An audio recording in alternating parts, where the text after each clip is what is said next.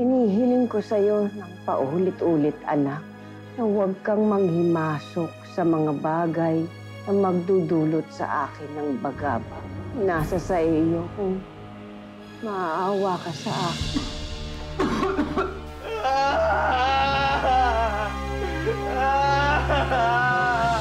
Ipalilimbag natin ang iyong nobela. Ako na ang bahala.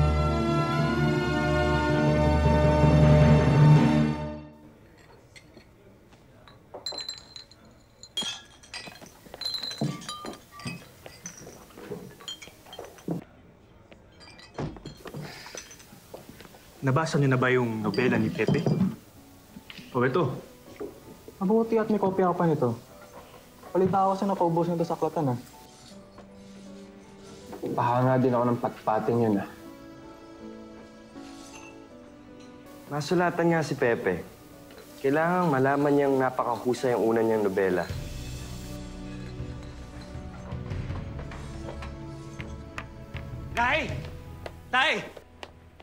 Saturnina!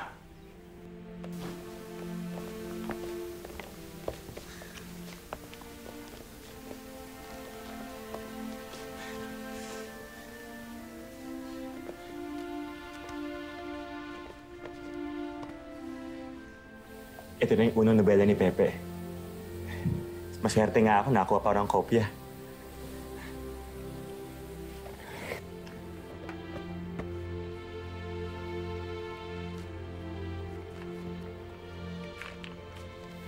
Si Crisostomo Ibarra ay isang binatang Filipino na pinag-aral ng kanyang ama sa Europa. Pagkatapos ng pitong taong pamamalagi roon, ay nagbalik ito sa Pilipinas. Parang kailan lang eh, binabasahan ko pa siya ng mga kwento. Tungkol sa higante, mga diwata at mga hayop sa gubat. Pero ngayon, siya na nagkukwento tungkol sa kalagayan natin. Kung kasama sana natin siya ngayon, sasabihin ko sa kanya kung gaano kong kinalaman lang na maging ama niya. al diablo con el cura. Murmuro uno de los dos jóvenes. Ano nang ibig sabihin ng sinulat? Ba naman kayo tatang mo na wala tuloy yung binabasa ko. Tuloy mo na. Masyado mo naman Oo, kami sige. binibitin eh. Ganito. Ito, ito, ito yung sabi ni Padre Damaso. Silencio. Contestra el otro que nos oye su mujer. Entre tanto, el Padre Damaso, en vez de rezar el Ave Maria. Ganito yun eh. Ang sabi kasi ni Padre Damaso ah, kay Crisostom Ibarra, sinasermonan niya ito. Nang, nang nagmula nang nakapag-aral siya sa Espanya, parang hindi na daw siya natuto, parang hindi na siya nakakilala sa isang prailin katulad niya. Alam niyo, itong si Padre Damaso, parang may kilala akong prailin ganito. Napakatapang niya. Binigyan tayo ng boses ng Espanya. Inyo. Matapang ha? Ano pa, ano pa nakalagay? Ano si Padre Damaso, di ba nga sinabi ko sa inyo, may, may, parang may pagkakapareho sila nung pare. Napakahusay ano? eh, ito, ito, ito. Ah, ano? Ah. ano pa? Ayan, ayan. Katapos nun, Duenia a es Espiritu Santo por haber. Ito nang matagal nating inihintay.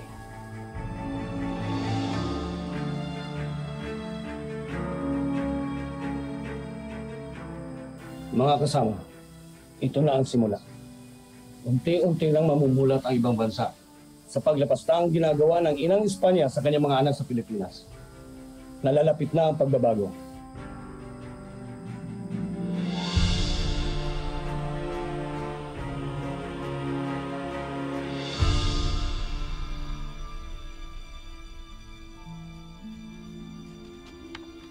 Senyora Isidra, bakit po kayo umiiyak?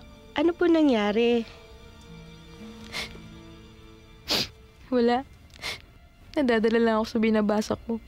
Kahit na, sabihin pa natin. Nandyan po si Doña Conchita.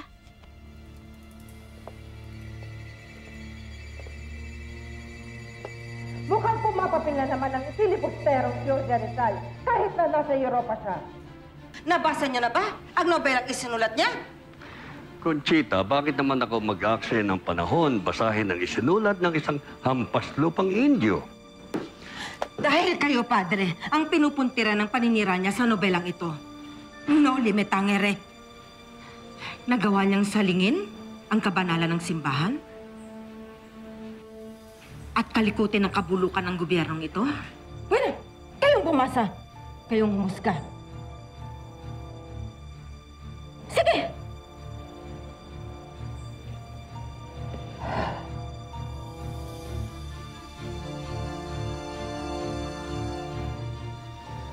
Mabagsik ang tuklaw ng ahas, Padre Amato. Wala nang iba pang dapat na gawin kung hindi ang patayin at durugin. Kapag naunahan tayong sakmalin, baka tayo ang kainin ng buhay.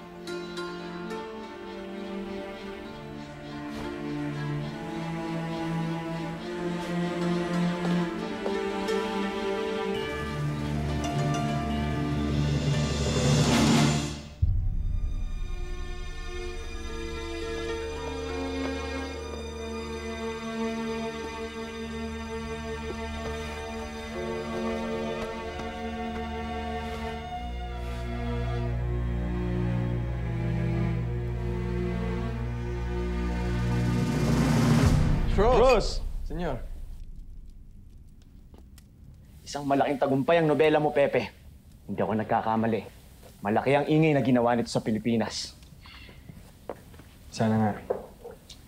Sana ito na nga maging mitya ng pagbabago sa ating bayan. Hindi ko inakala na gano'n na magiging pagtanggap nila sa aking nobela. Sulit ang lahat ng pagod at hirap. Hindi ba, senyor? Pero mag-iingat ka rin, Pepe. Dahil kung gaano kainit ang pagtanggap ng mga kababayan natin, ay siya rin bugso ng galit ng mga Kastilang Fraile na binatikos mo sa iyong nobela. Tandaan mo, Pepe, may mga magulang at kapatid ka pang nasa kalamba.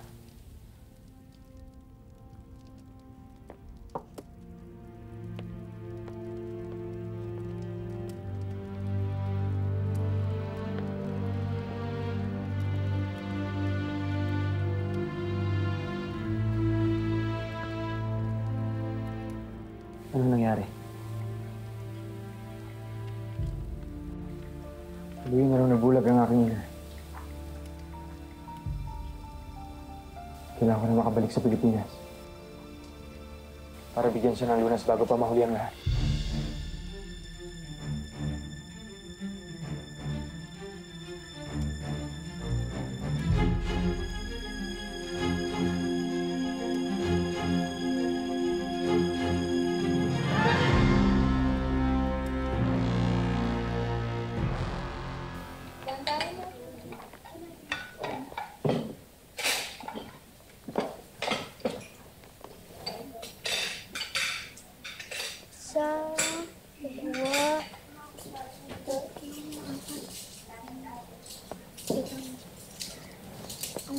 isa, dalawa, tatlo, apat.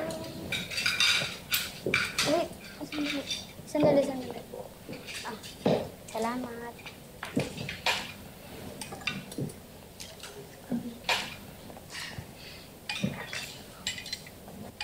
Mukhang masarap ang tanghalian natin ah.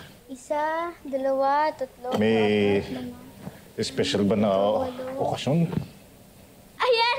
Kompleto na! Pwede na tayo umupo.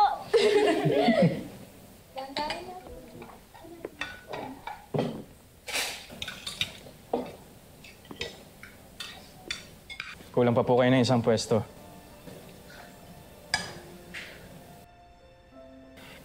Pepe?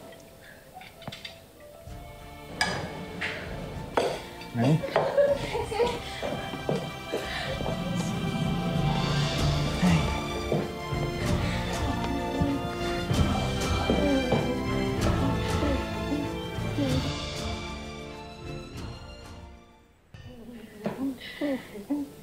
Salamat sa Diyos.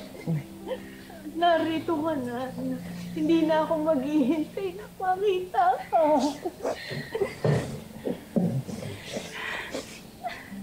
Ngayon talaga po bang hindi niyo na ako nakikita?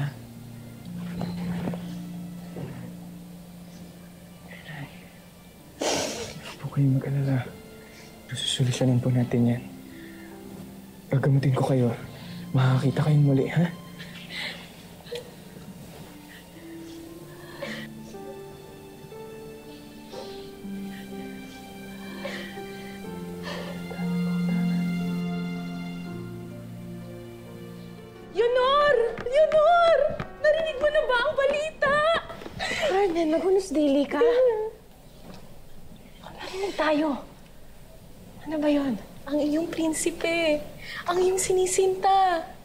Sa Pilipinas.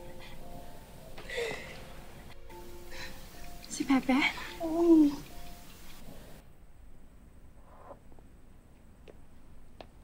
Ay, huwag masyadong malikot ha. Konting tiis na lamang at makikita niyo ng napakagwapo niyong anak. Hindi man kita makita, eh, makakapa ko naman kung saan kita pipinghutin. Pilyong bata ito, ah.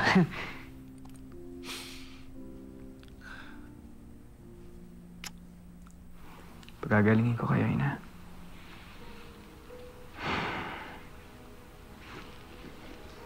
Simula na pa tayo.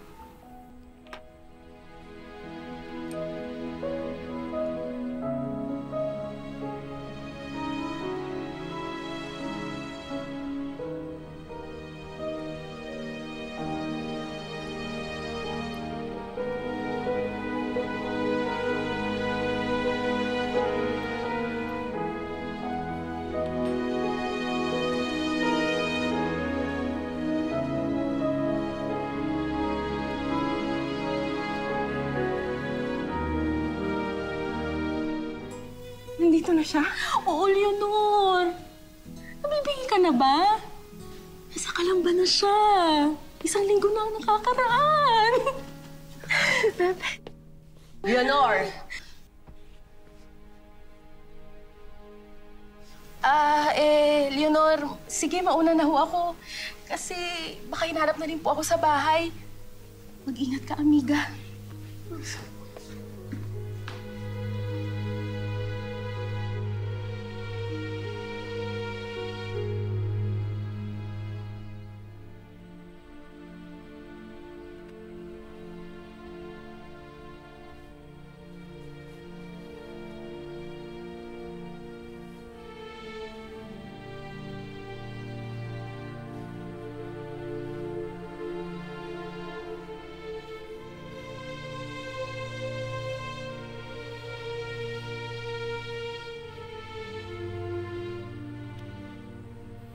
Mo ang mga mata mo, ina. Dahan-dahan lang.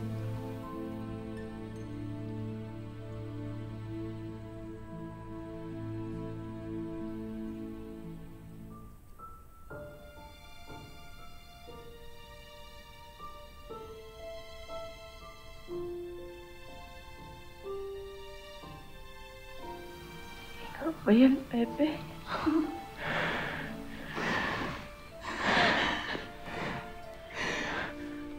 Gupito ba ang nakikita niyo?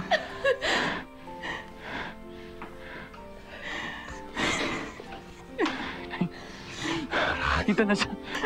Salamat sa Diyos.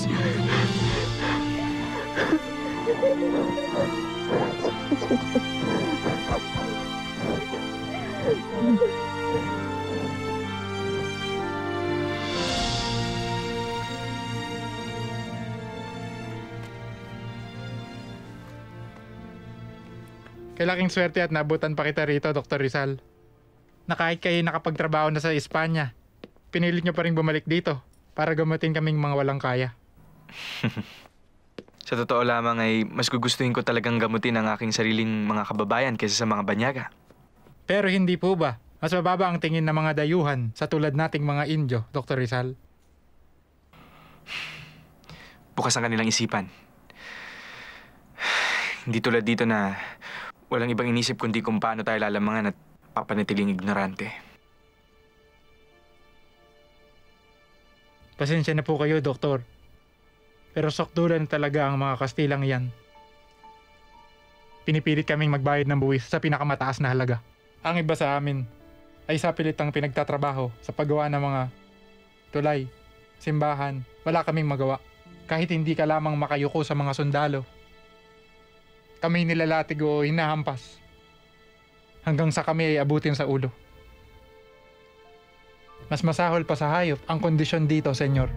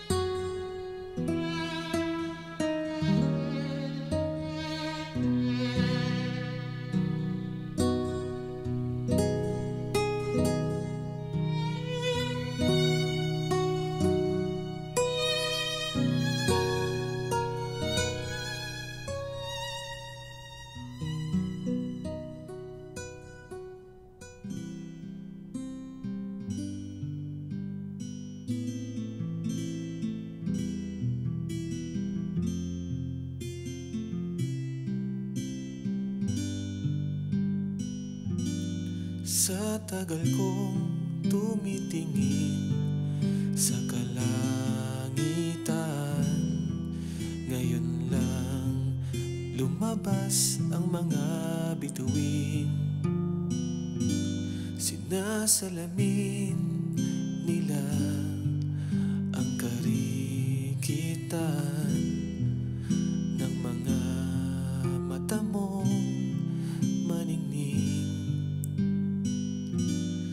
sa tagal ng tumitibok nitong puso.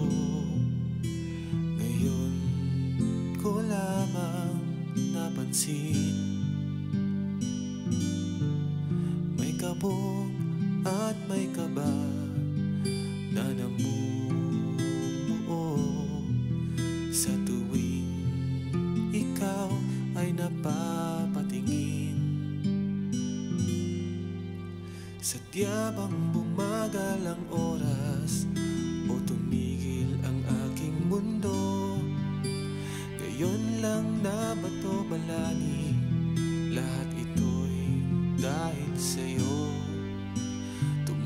Tumakas na yata ang diwa.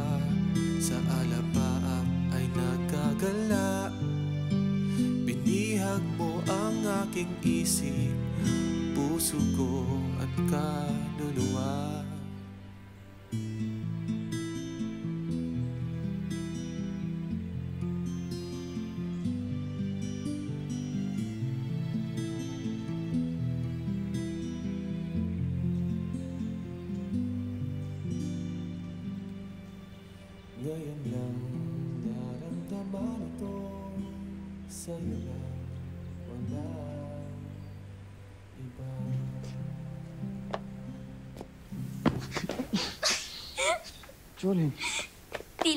Nawiwili ka na ata sa iyong mga panaginip, kuya. Tanghali na. Tsaka marami na rin nag-aantay sa'yo na pasyente dun sa klinika. Mag-agahan ka na. Sige, salamat. Mauna ka na susunod na ako. Sige.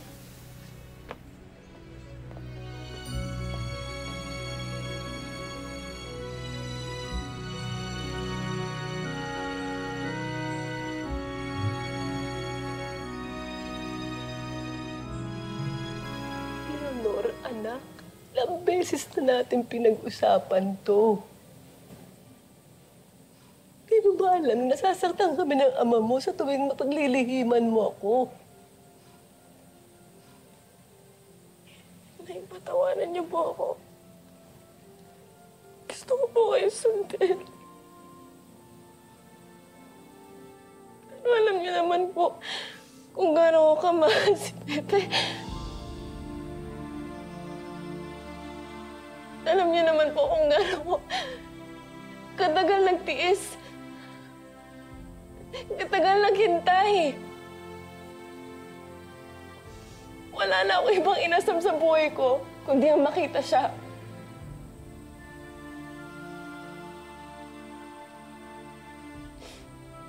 Wala na. Limang taon na ako naghintay.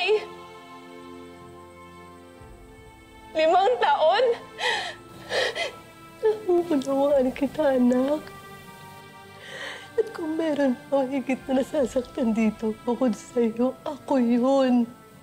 Napakahirap para sa isang inang makita nagdurusa ang anak.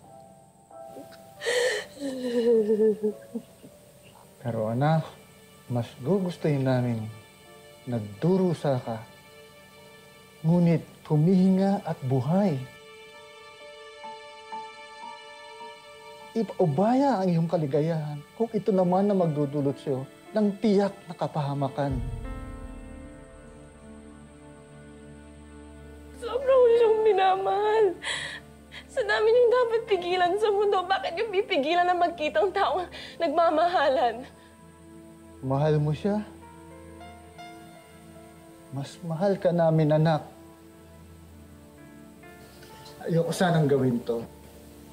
Pero kailangan kong ipagbawal na makapagkita kang muli kay Pepe. Maawa po kayo.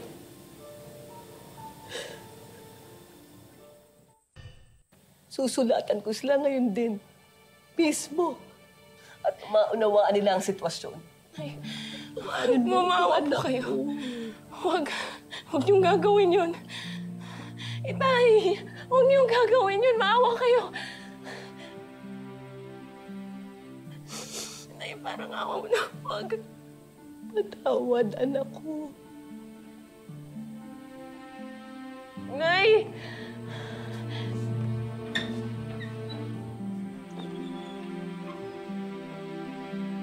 Itay. Mahal ko si Pepe!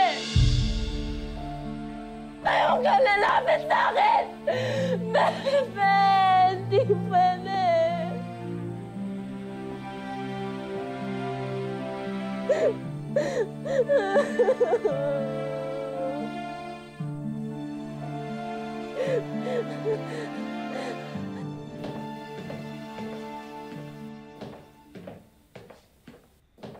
Handa na ba ang karwaheng gagamitin natin bukas? Alis tayo ng maaga. Opo, senyor. Ako mismo ang nagasikaso. Bukas po ng umaga, susundin po kayo rito. Maraming salamat. Senyor Rizal, Ako nga. Ano kailangan nila? Pinapatawag po kayo ng ating butiing Gobernador General Terrero sa kanyang tanggapan bukas. Tungkol saan daw?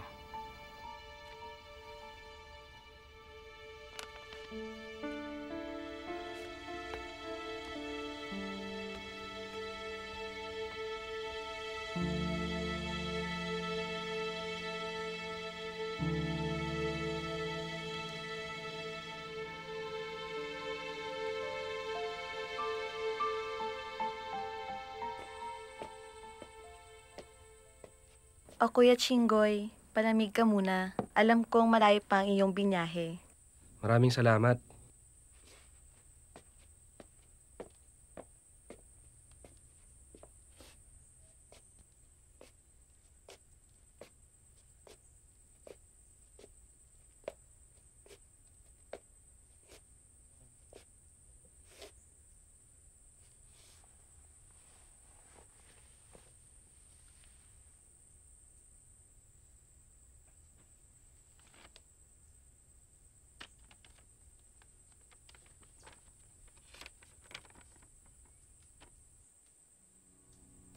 Dahil sa pagiging mainit ng iyong anak na si Pepe sa otoridad, Nanganganib kami para sa kaligtasan ng aming pamilya, lalong-lalo na ni Leonor. Sana'y maintindihan mo kung bakit kami tutol sa pagkikita mo rin ni Pepe at Leonor. Makakabuti pa kung kalimutan na lamang nila ang kanilang pag-iibigan.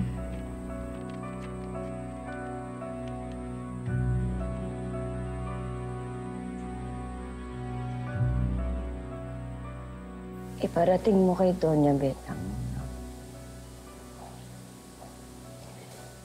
Naiintindihan ko ang kanyang sitwasyon. Kakusapin ko si Pepe.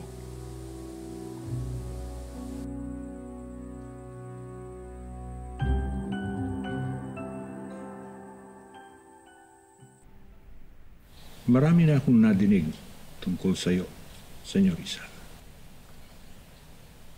Sumulat daw kayo ng isang nobela na mapangahas at puno ng subversibong ideya.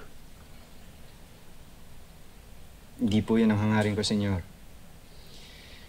Ang nais ko lamang ay maisiwalat ang katotohanan ng nangyayari sa bayang ito. Isa po akong nobelista at hindi tulisan. Magpapahanap ako ng kopya niyang nobelang yan. Babasahin ko at sasabihin ko sa inyo kung ang nobelang yan ay masama o makakasira sa gobyernong ito. At ipapabasa ko rin yan sa mga fraile nang tumigil na ang kanilang katatalak. Babasahin nila para manalaman nila kung ano ang nilalaman ng nobelang yan. Sigurado akong maliligayahan kayo sa inyong mababasa, Gobernador General Terrero. Titingnan natin. Pero sa ngayon, mainit pa ang mga mata ng mga nakabangga. Kaya, inatasan ko si Don Jose de Andrada na maging gwardya mo. At hintayin ang desisyon ko tungkol sa mga kasong kinaharap. Maraming salamat. Tinatanggap ko po ito ng buong kagalakan.